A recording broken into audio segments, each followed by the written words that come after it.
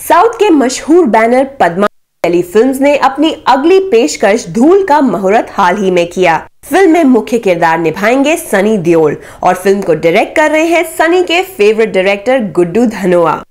धूल मतलब वही है कि एक आदमी जब उतरा है कि अपने कि सच्चाई को साबित करने के लिए तो दुश्मनों को जो धूल चटाने की बात होती है, उसी चीज़ को लेकर और एक पानी का प्रॉब्लम है उसके अंदर, कहानी के अंदर।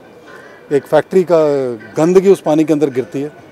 तो जो डस्ट का ले डस्ट को पॉइंट को लेकर उन्होंने टाइटल रखा। गुड्डू के साथ हमारी ट्यूनिंग बहुत अच्छी है। पहले भी हम लोग दो तीन पिक्चर कर चुके हैं जो अच्छी रही हैं और he is a capable director to do this film धूल एक कामयाब साउथ फ़िल्म की रीमेक है। सनी देओल इस फ़िल्म में एक ऐसे गाँव वाले के किरदार में नज़र आएँगे जो अपने गाँव की समस्याओं का हल ढूँढने शहर आते हैं। मोरो शॉट ये गाँव का एक करेक्टर है जो प्रॉब्लम लेके शहर में जाता तो उसी को लेके के जैसा सनी ने डायलॉग बोला कि गौर से देखो मुझे, मैं उसी गाँव की धूल का एक ज़र्रा हूँ, जिसे दुश्मनों ने हवा देकर तूफ़ान बना दिया।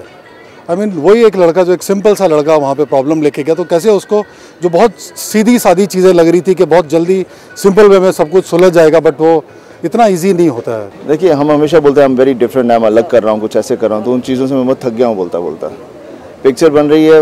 हर आदमी अपनी पिक्चर्स जो भी बनाता है यही सोच के बनाता है कि वाकई में अलग होगी।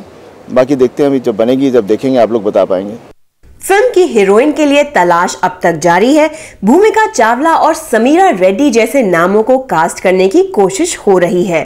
समीरा और भूमिका को अभी तक फाइनल नहीं किया गया। आई I मीन mean, उन्होंने भी नहीं फाइनल किया। उनको पिक्चर दिखाई जाएगी या सब्जेक्ट सुनाया जाएगा। उसके बाद फिर प्रोड्यूसर्स के साथ वो लोग कैसे डील करते हैं उसके बाद ही फाइनल होगा वो इंडिया में भी है भी नहीं दोनों। साउथ की रीमेक्स बॉलीवुड में काफ़ी बार कामयाब हो चुकी हैं, लेकिन पद्मालय की पिछली पेशकश डीनो मौर्य और बिपाशा बासु की फ़िल्म इश्क है तुमसे साउथ की रीमेक थी और बॉलीवुड में बिल्कुल फ्लॉप हो गई। शायद इस बार रीमेक बनाते समय निर्माताओं को ज़्यादा ध्यान देना पड़ेगा।